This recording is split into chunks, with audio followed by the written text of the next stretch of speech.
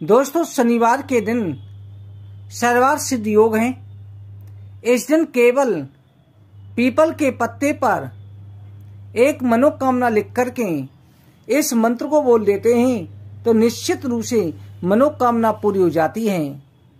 People के अंदर लक्ष्मी नारायण का वास होता है, ब्रह्मा, विष्णु, महेश, त्रिशक्तियों का वास भी पीपल के अंदर होता है। इसलिए पीपल के पेड़ पर इस मनोकामना के द्वारा उपाय किया जाए तो निश्चित रूप से आपकी मनोकामना पूरी हो जाएगी। दोस्तों, आपको करना यह है कि शनिवार के दिन सायकाल के समय पर आपको पीपल के पेड़ के पास में जाना है।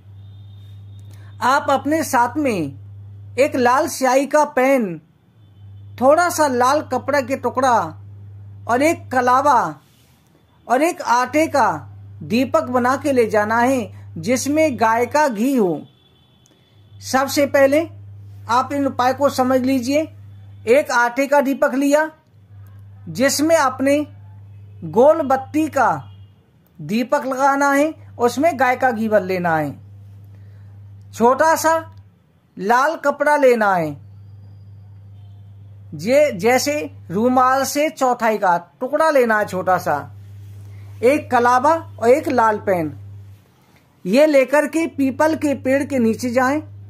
सबसे पहले आपको आटे का दीपक जो ले गए हैं, वो दीपक जला देना है। फिर उसके बाद आपको एक बार हनुमान चालीसा का पाठ करना है।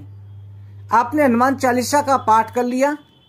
उसके बाद में आपको पीपल के पेड़ पर एक डंडी पकड़नी है। ध्यान रखें, पत्ता तोड़ना नहीं है। डंडी में लगे हुए पत्ते पर ही अपनी मनोकामना लिख देनी है, लाल पेन से।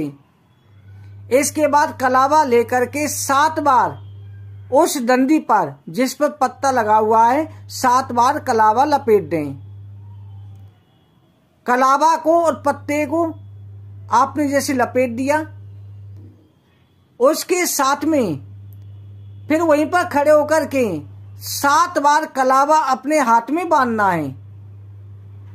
अपने हाथ में भी बांधने के बाद में फिर पीपल के नीचे ही आपको एक माला या ग्यारह बार इस मंत्र को बोलना है। ध्यान दें मंत्र को। ओम ह्रीम वट स्वाहा। क्या मंत्र है? ओम ह्रीम वट स्वाहा। ऐसा करके, फिर आपको पीपल के पेड़ के नीचे से एक चुटकी मिट्टी लेनी है। और जो लाल कपड़ा आप लेकर के गए हैं, उस लाल कपड़े पर वो चुटकी मिट्टी रख कर के उसमें गांठ लगा लें और उस लाल कपड़े को लेकर के आ जाएँ। और लाकर के लाल कपड़े को अगर धन में बरकत नहीं होती तो तिजोरी में रख दें। नौकरी में या व्यापार में रुकावट है तो व्यापार स्थल के लिए व्यापार में रख दें, नौकरी के लिए अपनी जेब में रख कर के जाए। आपका प्रत्येक कार्य होने लग जाएगा। अगर और कोई मनोकामना है तो अपने पास में रख लें। दोस्तों, ये अचूक उपाय है टोटका है, बिना किसी को बताए करना है। और उस समय पर आपको अपने पास रखते समय ओम पिपलेश्वर महादेव का ध्यान करना है। दोस्तों, इस उपाय को करने से लाखों लोगों ने फ़ायदा उठाया है। वीडियो को ज़्यादा शेयर करें, चैनल को सब्सक्राइब करें। ओम नमः शिवाय।